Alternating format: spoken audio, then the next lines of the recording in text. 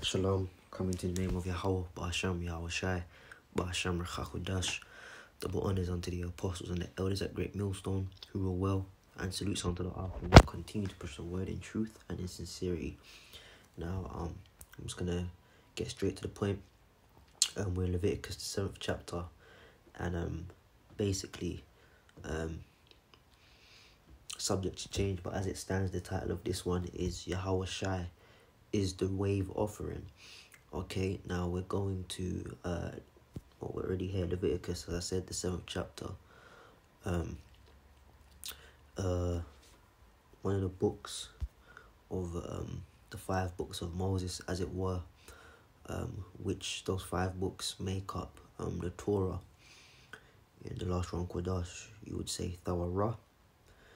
Um but yeah the first five books of the scriptures um, is is like the fundamental scroll, if you will, the law, um, which was given to uh, Moses by um, the Lord. Um, the first book, uh, the headings Genesis, that was also written by uh, Marsha, um, King Marsha because the scriptures let us know that Moses was the first king in Jeshurun, which is Israel. Okay. And um, the question is often asked, well, how did Moses know how it all happened? You know, if it was so many thousands of years after in the wilderness, um, in the mountain, how did he know how it all happened? Well, the scriptures let us know that he was up there for 40 days and 40 nights. And during that period, not only did he receive the law, um, but the breakdown and explanation behind the law was also given um, to Marsha, which is known as the oral Torah. You've got the written Torah, which is the laws it's written, but then the oral Torah is like the breakdown of it. And um, he received many revelations, um, things even about the end of how it would all end. Um, but what was written outside of the speaking of the law was the explanation of the beginning, the Genesis, the headings. Alright? But anyhow, we're in um, the book of Leviticus, the seventh chapter, and um, this is about to speak um, about uh, the Lord. So, like, is about to speak and let Moses know how to conduct a particular offering. And the part we're dealing with is the wave offering, which Yahawashi is the is the completion of the wave offering. So it says here in Leviticus 7 and 28, and the Lord Yahweh spake unto Moses, saying, uh, and I just said it the way to say Moses in the Hebrew is Marshah, which means to draw out. Uh, speak and unto the children of Israel. Now here it says the children, but really in the Hebrew it would be um, uh, uh, the sons of Israel. Banyam, the sons of Israel. Okay, but in the English uh, rendition, it tra- they, they translate it to children, but really it's speak unto the sons of Israel, saying, He that offereth the sacrifice of his peace offering, offerings unto the Lord, shall bring his oblation unto the Lord of the sacrifice of his peace offering. His own hands shall bring the offerings of the Lord made by fire, the fat with the breast, and it, and uh, it shall he bring that the breast may be waved for a wave offering before the Lord, and the priest shall burn the fat upon the altar, but the breast shall be Aaron and his sons. And the right shoulder shall he, he give unto the priest for an heave offering of the sacrifices of your peace offering. He among the sons of Aaron that offereth the blood of the peace offering and the fat shall have the right shoulder for his part because what would happen is um, those uh, those uh, um, once those sacrifices were made, it would be divided up amongst uh, the priests. But there's a particular order in which it would be divided amongst the priests. Then there's another sacrifice where um, I don't think it's here, but where once it's sacrificed, um, is is is I believe it comes under the sacrifice of meeting, um, on behalf of the Lord um, the priest would eat a portion and then the, the the the person who's offering the sacrifice would have to eat a portion. The sacrifice of meeting, okay. Um, but other than that, it would be divided amongst the priests in the particular order as prescribed in the scriptures, as we're reading through here. For the wave, for the, for the wave breast and the heave shoulder have I taken of the of the sons of Israel, from off the sacrifices of their peace offerings, and have given them unto Aaron the priest, and unto his sons by a statute forever, from among the sons of Israel. This is the portion of the anointing of Aaron, and the anointing of his sons, out of the offerings uh, of the uh, of the Lord made by fire. In the day when he presented them to minister unto the Lord in the priest's office, okay. So the wave offering it would be waved and then um sacrificed. Now Yahushai is the um is the ultimate uh, sacrifice because well I wanna there's one more line I wanna read it one more time verse 30, and it's, I said line, so like I meant to say one more verse. The verse I want to read again is verse 30. His own hands shall bring the offering of the Lord made by fire. Okay, so the person who's who's being offered, they have to bring it. They have to bring the sacrifice. Okay, now, um,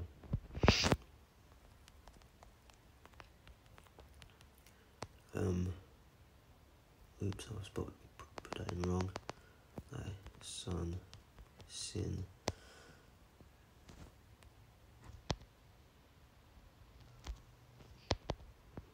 it's not coming up there. That's fine. Bear me one second. What do is uh, if they it's not even coming up.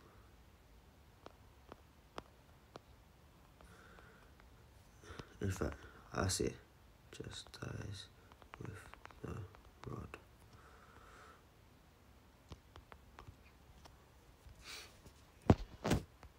Yep. So this is uh Second Samuel's seven and fourteen. Um, I will be his father, and he will be my son if he commit iniquity, I will just I will chasten him with the rod of men, and with the stripes of the children of men. Okay, which ultimately speaking about Yahweh Okay, so because Yahweh in his past lives had committed sin. Okay, as Adam, Isaac wasn't sinless. You know, all right. The only person that walked the earth sinless uh, was Yahweh Okay, you had righteous men along the way, but they were with sin. Okay, the one that was totally without sin was Yahweh So even Yahweh in his past lives sin. Um, what comes to mind? Solomon, you know, Yahweh was Solomon. Um, Solomon did some grave sins in his later years because of his wives, man. You know, wives, I should say. Right? So, so going back to Leviticus 7 with his own hand shall do. Yahushua had to pay for his own sins, man. You know. Alright. Um, there's another scripture I want to get. Bear with me one second. Wait, it says, come on, man. Um, the priest.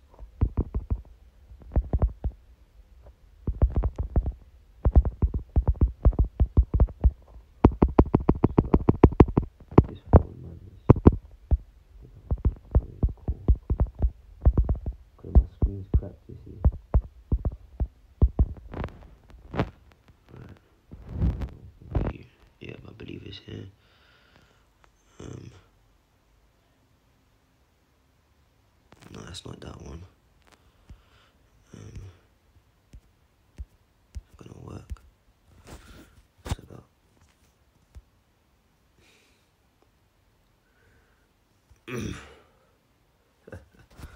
now the internet wants to play up. So that man. What's going on here, bro?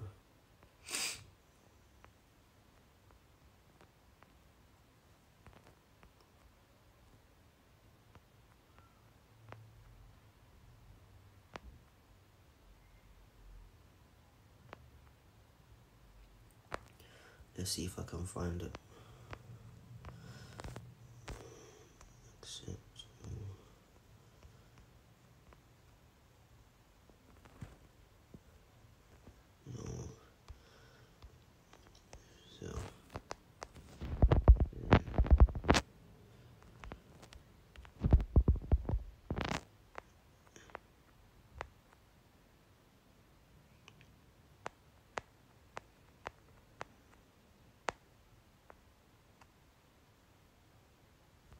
Let me see if it's here.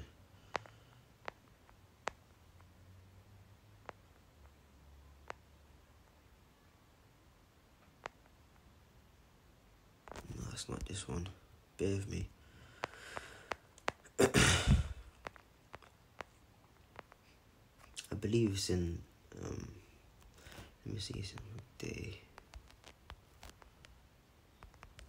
I'm trying to remember where that's at, man.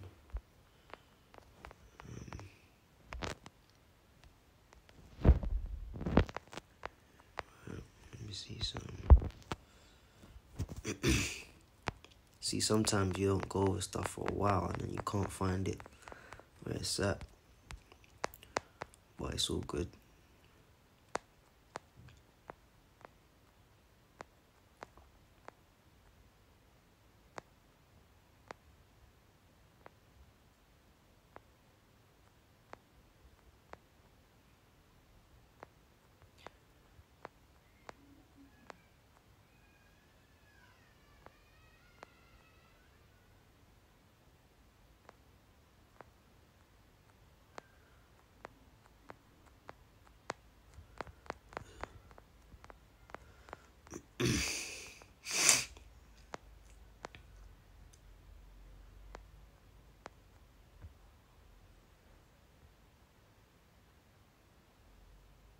Right. Talking about the wave offering, Leviticus 23 Speak unto the children of Israel and say unto them, When ye, when ye be come into the land I give unto you, and shall reap the harvest thereof, then shall ye bring in a sheaf of the first fruits of your harvest unto the priest, and he shall wave the sheaf before the Lord to be accepted for you on the morrow. Okay, so when it speaks about the land, obviously that's talking about Canaan, but the that that's all a rehearsal to the actual kingdom, man, which we're about to receive now. Okay, because the the first it would but it said ye shall bring a sheaf of the first fruits of your harvest unto the priest, man, and the first fruits represents the elect. Okay, and that that that priest, that that what goes into the into the Holy of Holies and sprinkled the blood upon the mercy seat is the high priest, which is uh, representing of Yahawashi, because he actually came as the Messiah and did that, man. Okay, that one time sacrifice, hence why we don't have to go back and sacrifice every time we sin, man. Okay, all right. So that was waived, right? Now, when Yahweh came in, into the into Jerusalem, the people took palms and their clothes and waved it and put it on the floor. Okay, let's get that. Oh, Zana.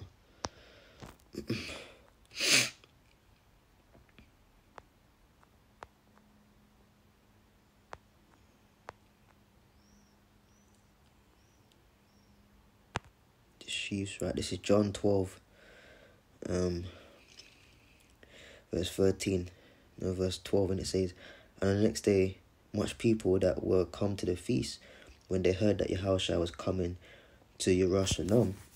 Now, obviously, that's speaking of the city itself over there in Israel, but spiritually, in this time, Yahushua is coming to Yerushalayim, the elect, okay, took branches of, of palm trees and went forth to meet him and cried, Hosanna, blessed the King of Israel that cometh in the name of the Lord. Okay, and Yahushua, when he had found the young ass sat thereon, as it was written, Fear not, daughters of Zion, behold, the king cometh sitting on an ass, on an ass's coat.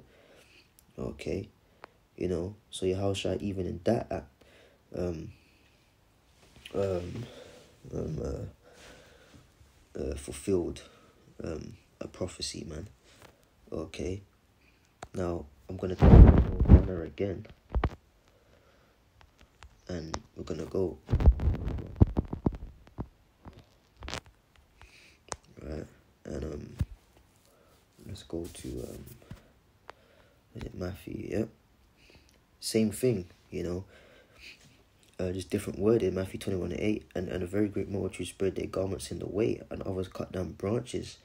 We, we know, we just read in John, it was the palm tree branches from the trees and, and strewed them in the way.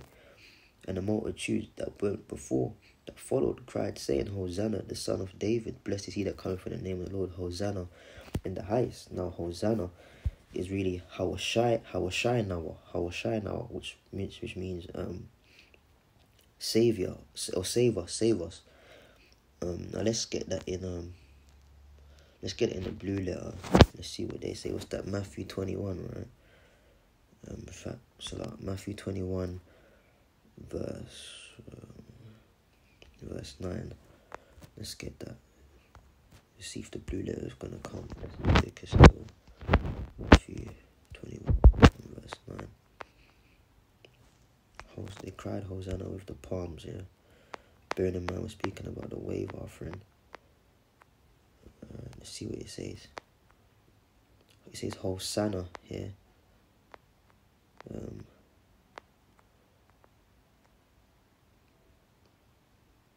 see? Oh, save, oh, save. It says Hoshaya, Hoshaya, Hoshaya. You see, he's got it here. Hoshaya, no, Hoshaya, no an exclamation of adoration, oh save. Alright? So so so so the, the, the real way to say that in the Lashon Kodash is Hawashai Nawah. Hawashai means to deliver or to save. And when you put Nawah at the end of a word, it means uh us. is plural. Okay? Alright? Like you could say Nathan, which means give but if you say Nathan Nawa, it means give to us. Alright? You know. So when they were saying Hosanna, Hosanna in the highest, they were saying, Oh save us, oh save us. But it's saying it in a in a as it says here, it, you're saying oh save in the sense of adoration. You know, in the sense of exclamation, in the sense of joy. So they were saying, Save us, save us, you know, in a joyous state. Okay. Alright, so they took the palms down, man. And now, what we're gonna do, go back to um, Leviticus. Alright, and it, uh, um,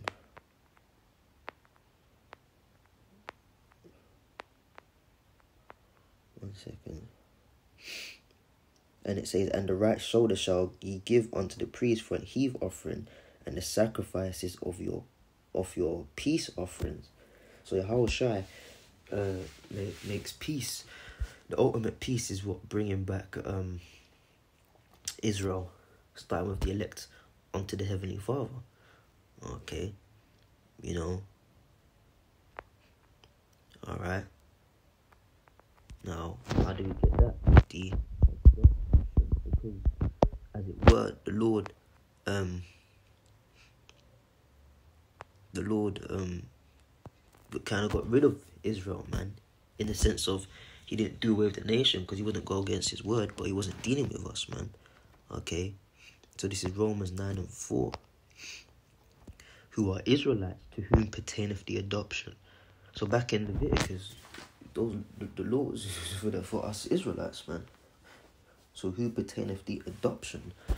All right being adopted back to the Heavenly Father, meaning we're in the good graces of the Heavenly Father again. And that's done how? Through His Son, Yahweh who are Israelites, to, to whom pertaineth the adoption and the glory and the covenants and the giving of the law. You see? So the law points towards Yahweh The law points towards Yahweh and the service of the Most High and the promises. Okay. So there you have it, man say, how should I bring us back to the Father, man?